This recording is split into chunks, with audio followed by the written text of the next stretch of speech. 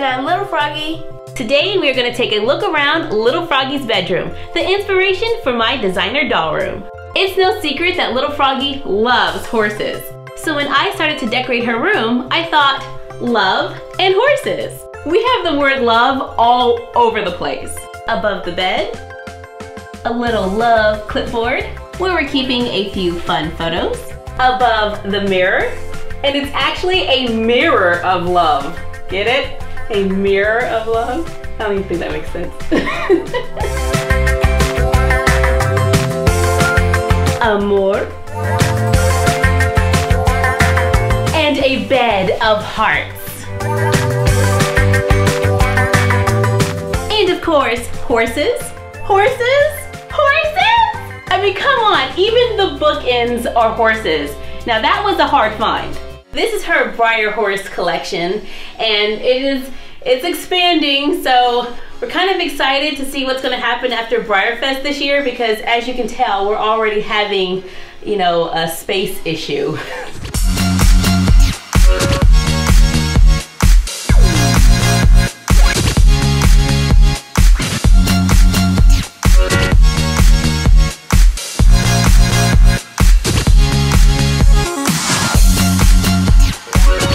found all of this really gorgeous horse photography where it just has like a horse head and flowy hair and it's just, it's just, oh, it's so majestic.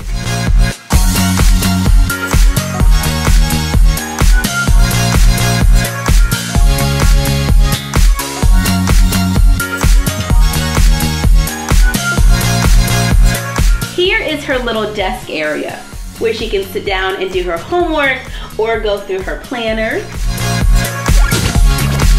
The theme of this room is gold, black, and white. So everywhere you look, we try to have little touches here and there.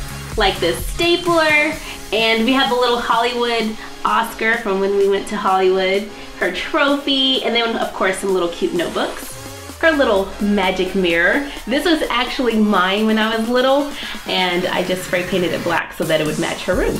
And little Froggy just started to learn how to crochet. So I put her yarn and crochet needles in a bird cage. I thought that was pretty cute. And then there's a little tiara on top. Yep, that's a bowl full of num noms. Little Froggy loves bracelets, so I wanted to make sure they were easily accessible. And she loves horse shows, so I used all of her ribbons to create a valance above the window. Here is her wall of inspiration. If you've seen our doll designer room, then this will look totally familiar because I remade it in miniature, which sits in front of the window for little Froggy to play with. Decorating in life size has taken me a little bit longer than decorating in miniature.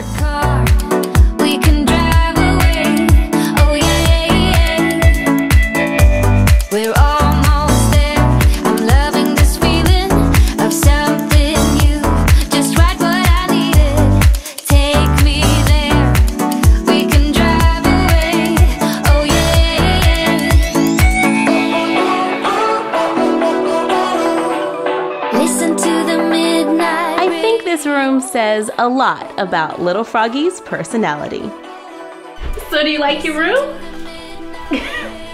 I take that as a yes. And we'll see you next time on the Frogs Vlog.